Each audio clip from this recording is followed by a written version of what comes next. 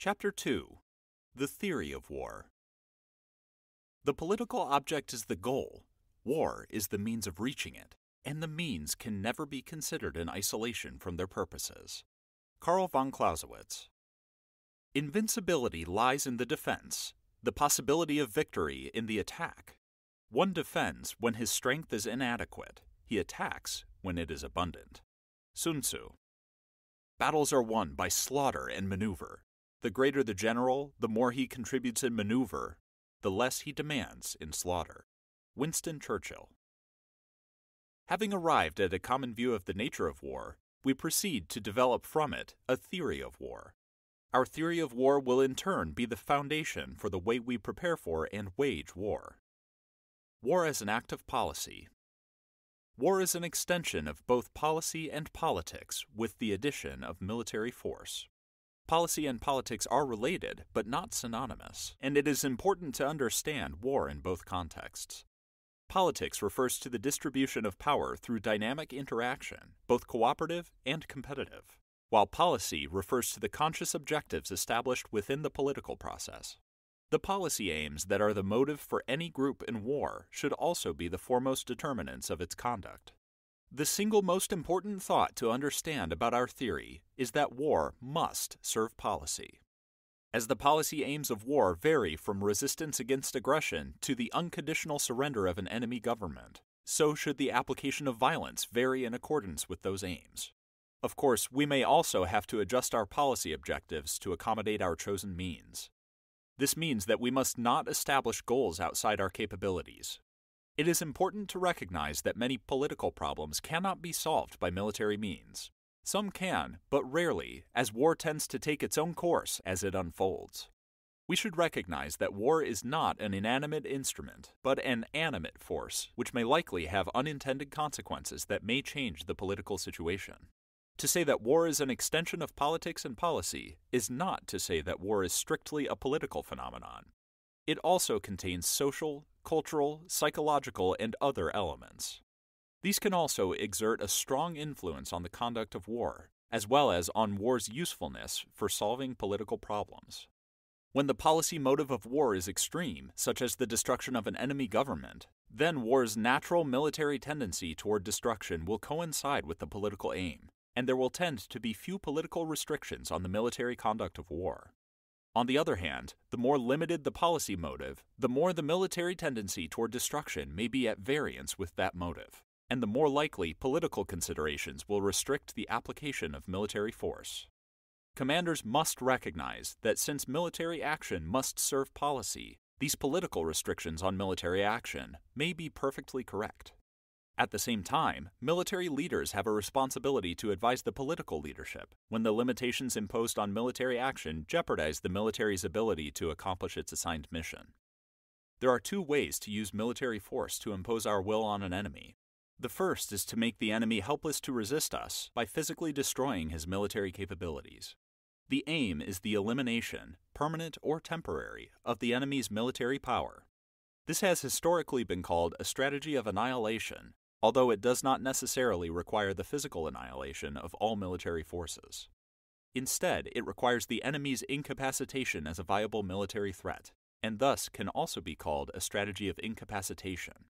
We use force in this way when we seek an unlimited political objective, such as the overthrow of the enemy leadership. We may also use this strategy in pursuit of more limited political objectives if we believe the enemy will continue to resist as long as any means to do so remain. The second approach is to convince the enemy that accepting our terms will be less painful than continuing to resist. This is a strategy of erosion, using military force to erode the enemy leadership's will. In such a strategy, we use military force to raise the costs of resistance higher than the enemy is willing to pay. We use force in this manner in pursuit of limited political goals that we believe the enemy leadership will ultimately be willing to accept. Means in war. At the highest level, war involves the use of all the elements of power that one political group can bring to bear against another. These include, for example, economic, diplomatic, military, and psychological forces. Our primary concern is with the use of military force. Nevertheless, while we focus on the use of military force, we must not consider it in isolation from the other elements of national power. The use of military force may take any number of forms, from the mere deployment of forces as a demonstration of resolve, to the enforcement of a negotiated truce, to general warfare with sophisticated weaponry. The spectrum of conflict. Conflict can take a wide range of forms, constituting a spectrum which reflects the magnitude of violence involved.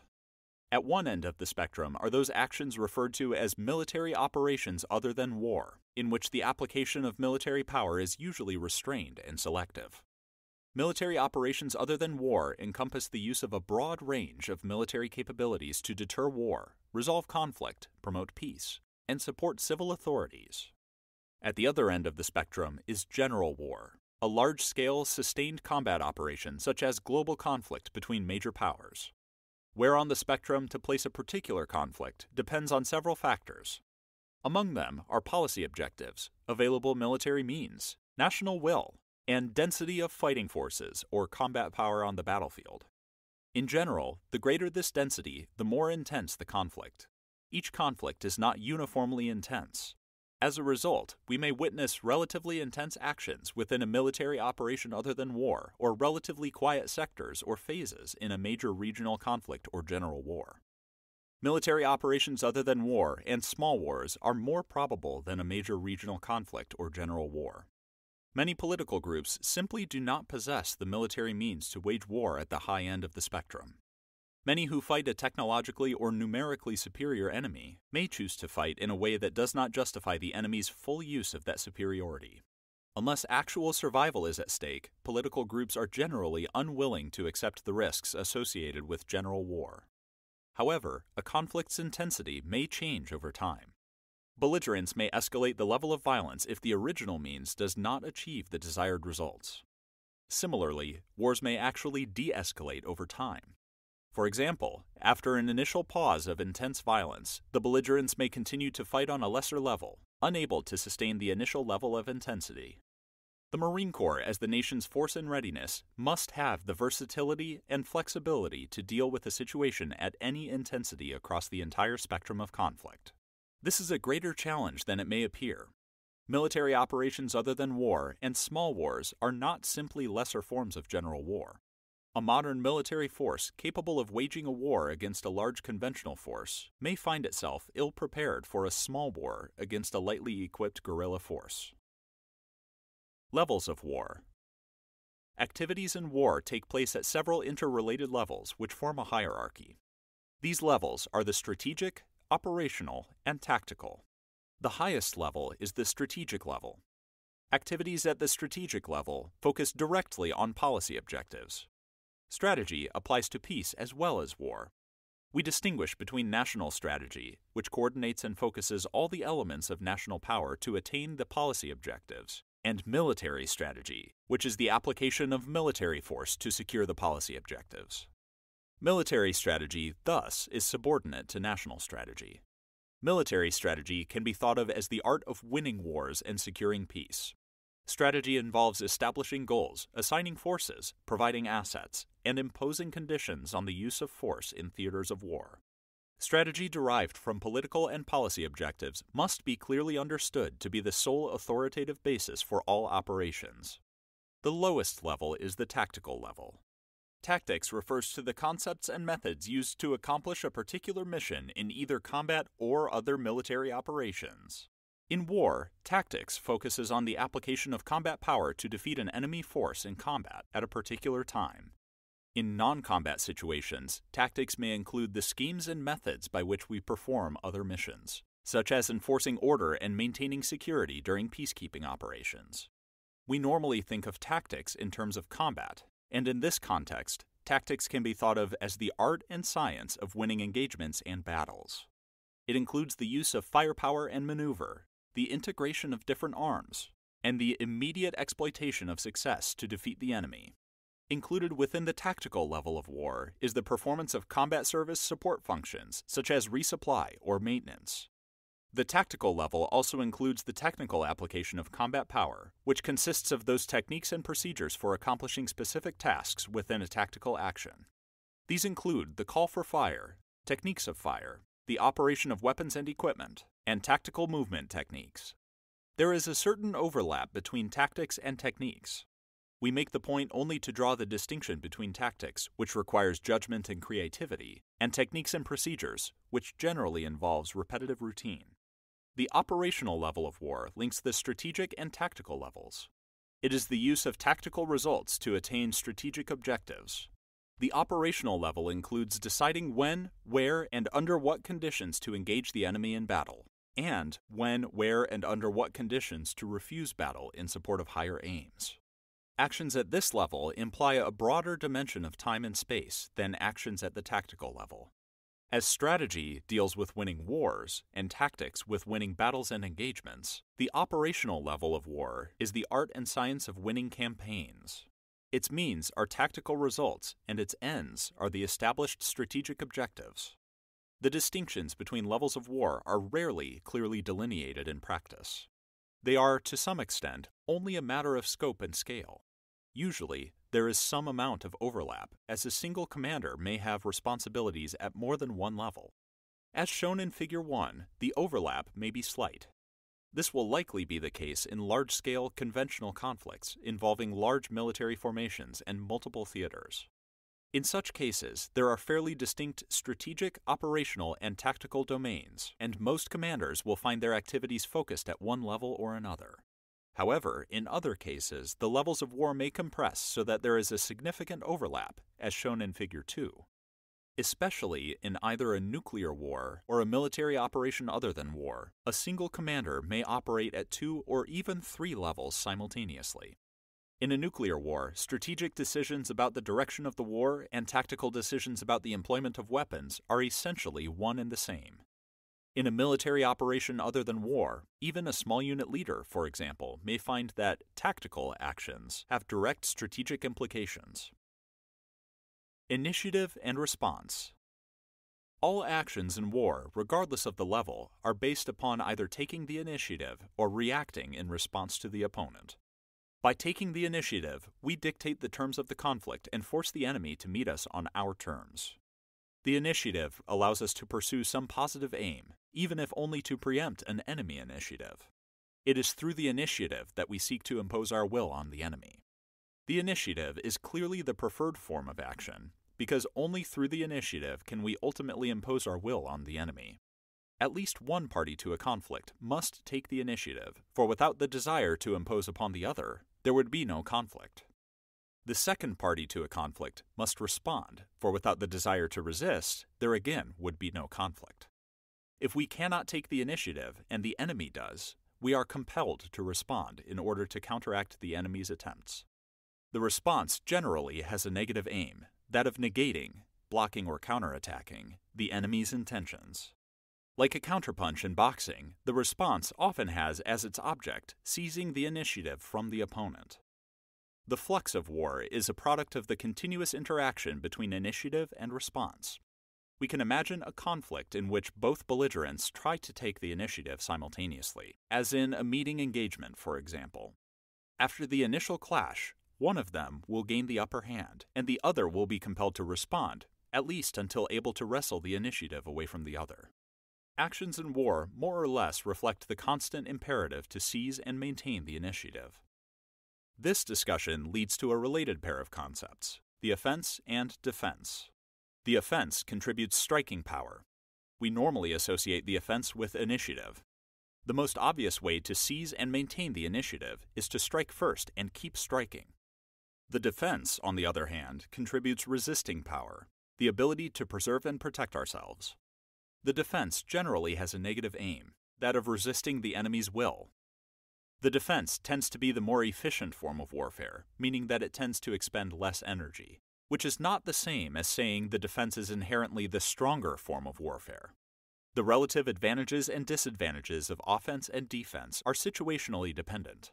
Because we typically think of the defense as waiting for the enemy to strike, we often associate the defense with response rather than initiative. This is not necessarily true. We do not necessarily assume the defensive only out of weakness. For example, the defense may confer the initiative if the enemy is compelled to attack into the strength of our defense. Under such conditions, we may have the positive aim of destroying the enemy. Similarly, a defender waiting in ambush may have the initiative if the enemy can be brought into the trap. The defense may be another way of striking at the enemy. While opposing forms, the offense and defense are not mutually exclusive. In fact, they cannot exist separately. For example, the defense cannot be purely passive resistance. An effective defense must assume an offensive character, striking at the moment of the enemy's greatest vulnerability. As Clausewitz wrote, the defense is not a simple shield, but a shield made up of well directed blows. The truly decisive element of the defense is the counterattack. Thus, the offense is an integral component of the concept of the defense. Similarly, the defense is an essential component of the offense. The offense cannot sustain itself indefinitely. At some times and places, it becomes necessary to halt the offense to replenish, and the defense automatically takes over. Furthermore, the requirement to concentrate forces for the offensive often necessitates assuming the defensive elsewhere. Therefore, out of necessity, we must include defensive considerations as part of our concept of the offense. This brings us to the concept of the culminating point, without which our understanding of the relationship between the offense and defense would be incomplete. Not only can the offense not sustain itself indefinitely, but also it generally grows weaker as it advances. Certain moral factors, such as morale or boldness, may increase with a successful attack, but these very often cannot compensate for the physical losses involved in sustaining an advance in the face of resistance. We advance at a cost, in lives, fuel, ammunition, and physical and sometimes moral strength, and so the attack becomes weaker over time. Enemy resistance, of course, is a major factor in the dissipation of strength. Eventually, we reach the culminating point at which we can no longer sustain the attack and must revert to the defense. It is precisely at this point that the defensive element of the offense is most vulnerable to the offensive element of the defense, the counterattack we conclude that there exists no clear division between the offense and defense. Our theory of war should not attempt to impose one artificially. The offense and defense exist simultaneously as necessary components of each other, and the transformation from one to the other is fluid and continuous. These relationships between initiative and response, offense and defense, exist simultaneously at the various levels of war, we may seize the initiative locally as part of a larger response, in a limited counterattack, for example. Likewise, we may employ a tactical defense as part of an offensive campaign, availing ourselves to the advantages of the defense tactically while pursuing an operational offensive aim. Styles of warfare. Styles in warfare can be described by their place on a spectrum of attrition and maneuver. Warfare by attrition pursues victory through the cumulative destruction of the enemy's material assets by superior firepower. It is a direct approach to the conduct of war that sees war as a straightforward test of strength and a matter principally of force ratios. An enemy is seen as a collection of targets to be engaged and destroyed systematically. Enemy concentrations are sought out as the most worthwhile targets, the logical conclusion of attrition warfare is the eventual physical destruction of the enemy's entire arsenal, although the expectation is that the enemy will surrender or disengage before this happens out of unwillingness to bear the rising cost. The focus is on the efficient application of fires, leading to a highly proceduralized approach to war. Technical proficiency, especially in weapons employment, matters more than cunning or creativity. Attrition warfare may recognize maneuver as an important component, but sees its purpose as merely to allow us to bring our fires more efficiently to bear on the enemy. The attritionist tends to gauge progress in quantitative terms battle damage assessments, body counts, and terrain captured. Results are generally proportionate to efforts. Greater expenditures net greater results, that is, greater attrition. The desire for volume and accuracy of fire tends to lead toward centralized control, just as the emphasis on efficiency tends to lead to inward focus on procedures and techniques. Success depends on an overall superiority in attritional capacity, that is, the ability to inflict and absorb attrition. The greatest necessity for success is numerical and material superiority. At the national level, war becomes as much an industrial as a military problem. Historically, nations and militaries that perceived they were numerically and technologically superior have often adopted warfare by attrition. Pure attrition warfare does not exist in practice, but examples of warfare with a high attrition content are plentiful. The operations of both sides on the Western Front of the First World War, the French defensive tactics and operations against the Germans in May 1940, the Allied campaign in Italy in 1943 to 1944, Eisenhower's Broad Front offensive in Europe after Normandy in 1944, U.S. operations in Korea after 1950, and most U.S. operations in the Vietnam War. On the opposite end of the spectrum is warfare by maneuver, which stems from a desire to circumvent a problem and attack it from a position of advantage rather than meet it straight on.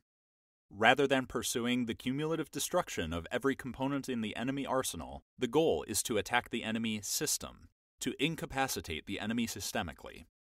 Enemy components may remain untouched, but cannot function as part of a cohesive whole.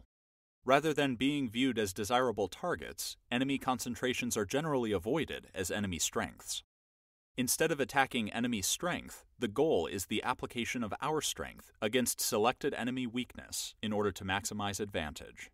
This tack requires the ability to identify and exploit such weakness.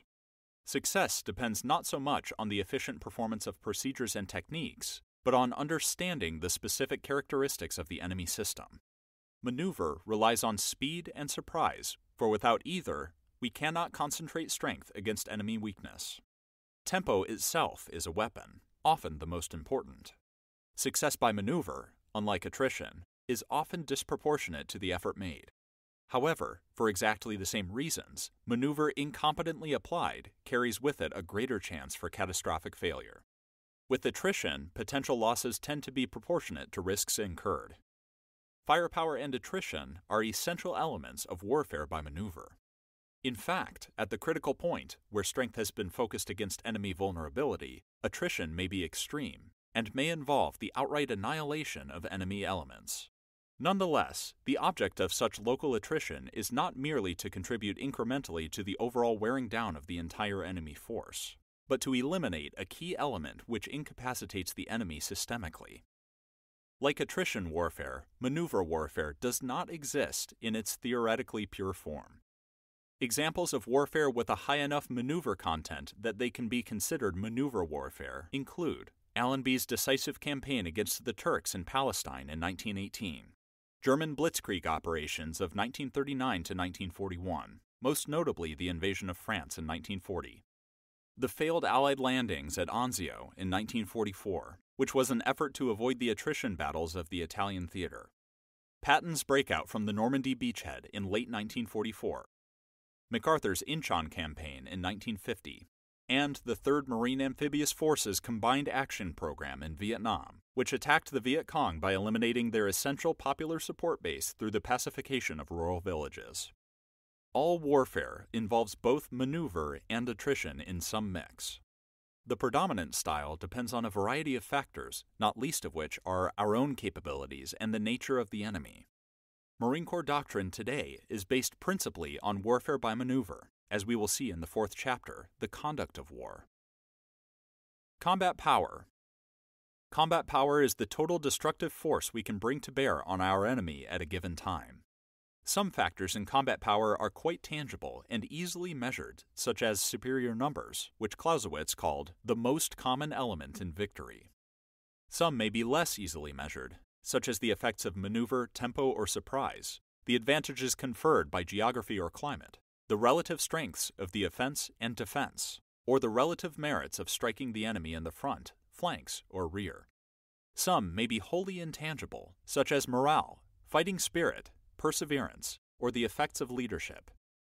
It is not our intent to try to list or categorize all the various components of combat power, to index their relative values, or to describe their combinations and variations. Each combination is unique and temporary, nor is it even desirable to be able to do so, since this would lead us to a formulaic approach to war.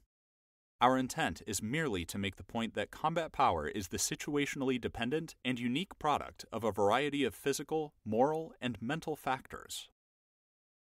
Speed and focus.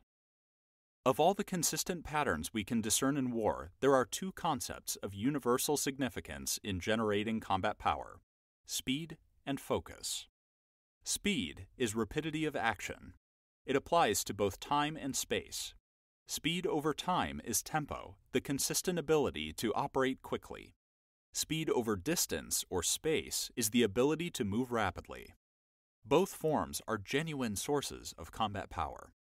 In other words, speed is a weapon.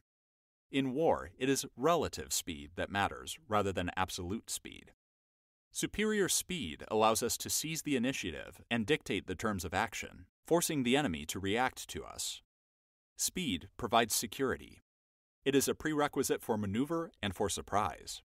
Moreover, speed is necessary in order to concentrate superior strength at the decisive time and place. Since it is relative speed that matters, it follows that we should take all measures to improve our own speed while degrading our enemies. However, experience shows that we cannot sustain a high rate of speed indefinitely. As a result, a pattern develops fast, slow, fast again. A competitive rhythm develops in combat, with each belligerent trying to generate speed when it is advantageous. Focus is the convergence of effects in time and space on some objective. It is the generation of superior combat power at a particular time and place. Focus may achieve decisive local superiority for a numerically inferior force. The willingness to focus at the decisive place and time necessitates strict economy and the acceptance of risk elsewhere and at other times. To devote means to unnecessary efforts or excessive means to necessary secondary efforts violates the principle of focus and is counterproductive to the true objective. Focus applies not only to the conduct of war, but also to the preparation for war. Since war is fluid and opportunities are fleeting, focus applies to time as well as to space.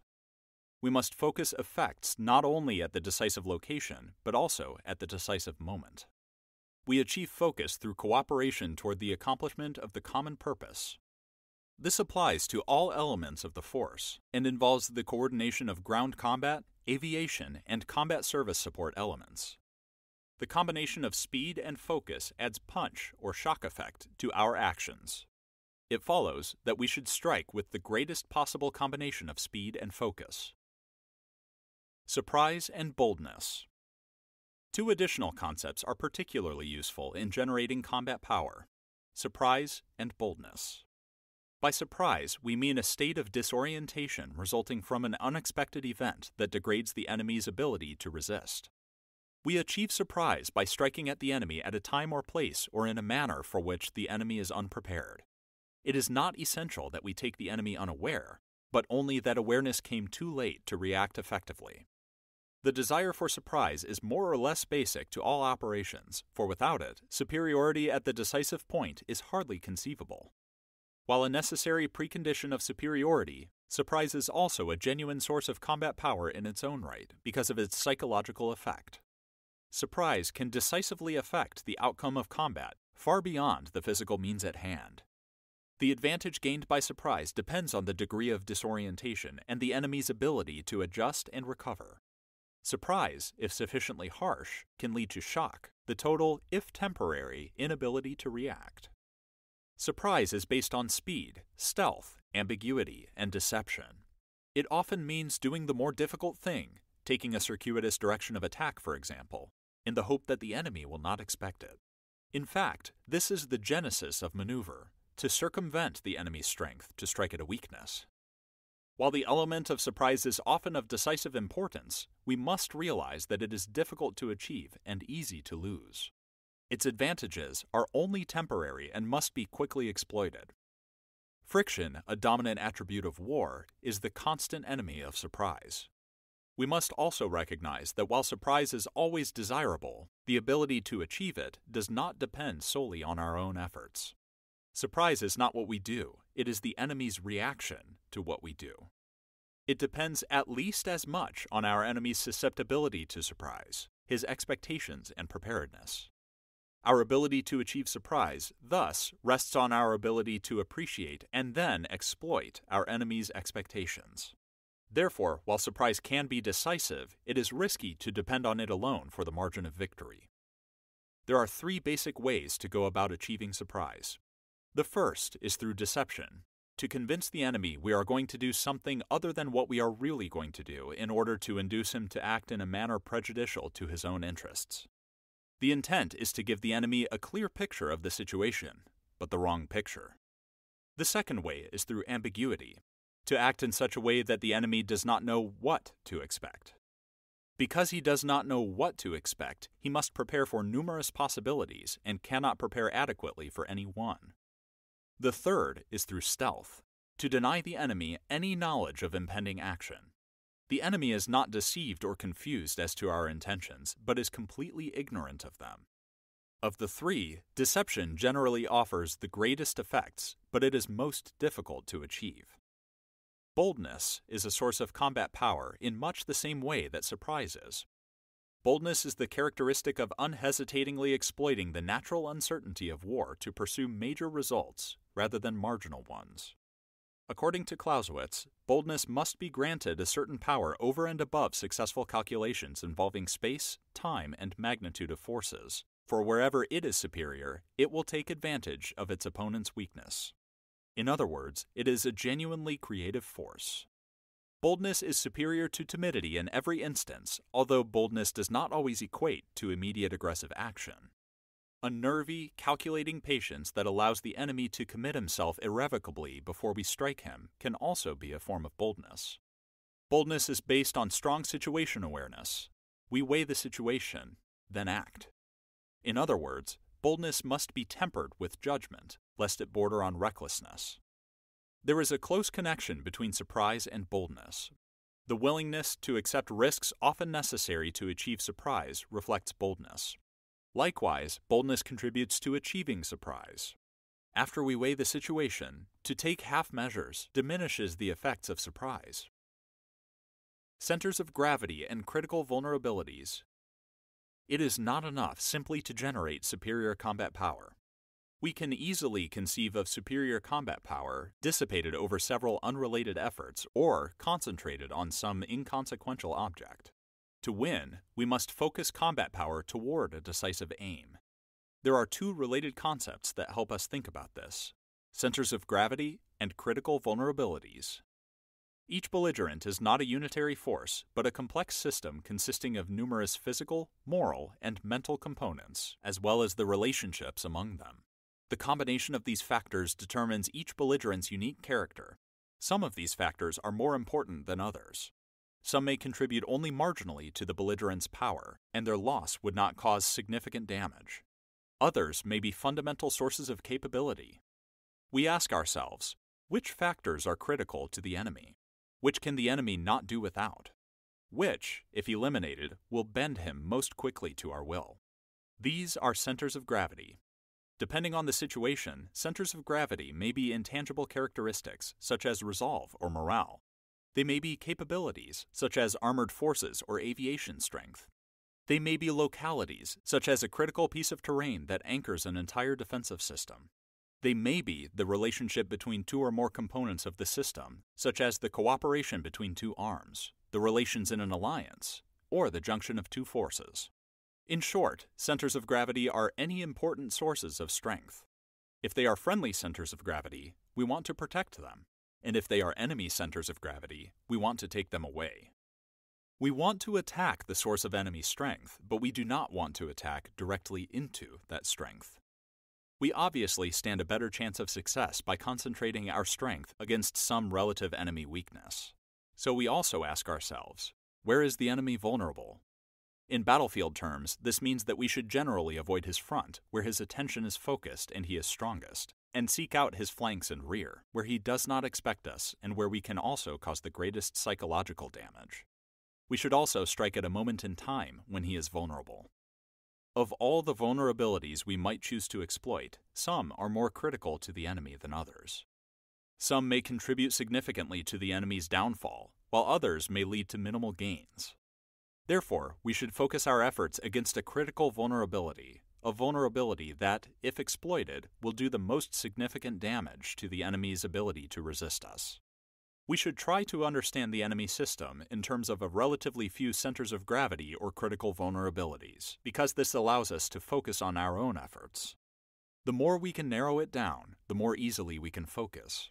However, we should recognize that most enemy systems will not have a single center of gravity on which everything else depends, or, if they do, that center of gravity will be well protected. It will often be necessary to attack several lesser centers of gravity or critical vulnerabilities simultaneously or in sequence to have the desired effect. Center of gravity and critical vulnerability are complementary concepts. The former looks at the problem of how to attack the enemy system from the perspective of seeking a source of strength, the latter from the perspective of seeking weakness. A critical vulnerability is a pathway to attacking a center of gravity. Both have the same underlying purpose to target our actions in such a way as to have the greatest effect on the enemy. Creating and exploiting opportunity. This discussion leads us to a corollary thought the importance of creating and exploiting opportunity. In all cases, the commander must be prepared to react to the unexpected and to exploit opportunities created by conditions which develop from the initial action. When identification of enemy critical vulnerabilities is particularly difficult, the commander may have no choice but to exploit any and all vulnerabilities until action uncovers a decisive opportunity. As the opposing wills interact, they create various fleeting opportunities for either foe. Such opportunities are often born of the fog and friction that is natural in war. They may be the result of our own actions, enemy mistakes, or even chance. By exploiting opportunities, we create in increasing numbers more opportunities for exploitation. It is often the ability and the willingness to ruthlessly exploit these opportunities that generate decisive results. The ability to take advantage of opportunity is a function of speed, flexibility, boldness, and initiative. Conclusion The theory of war we have described provides the foundation for the discussion of the conduct of war in the final chapter. All acts of war are political acts, and so the conduct of war must be made to support the aims of policy.